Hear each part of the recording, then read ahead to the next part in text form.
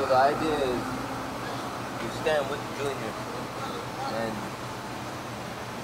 as he is as he is represented ascending and, and and being in a better state, you know, the idea is that you take a photo that allows you to be in the moment with him, you know, and not just look at a photo of him or look at a representation of him, but feel connected to it. And me coming out here and seeing firsthand like the amazing things that his friends and family, and namely these young kids that he knew, are are organizing. It's it's heroic and it, it's amazing. So I was asked to um, come out here. I just happened to be in the midst of like a mural tour, and I just did a, a piece of Manhattan in Brooklyn, and in between stops, I was asked by a business partner who happens to be a community organizer here. When this happened, we spoke about this a lot, and it's just something that me and my colleagues and, and friends already care about this type of thing. So it's already like in in our our personal zeitgeist, I guess. And so, well, the inspiration for the flower wings, it's an amalgam of a couple things.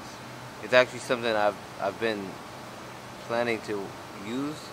Just you know, I'm I've, I was inspired by the wings that you see in Wynwood, Miami, and LA, and things like that. I've been inspired by that for a while, and just to take that to another level. And I, I often play with patterns and flowers and things like this, and I just like patterns and and color palettes, finding color palettes that evoke a mood. Experience have come multiple times to the piece, and every time they've come, it's a little bit further and it's a little bit closer to being more like the, the kid they knew, you know, and the kid they know.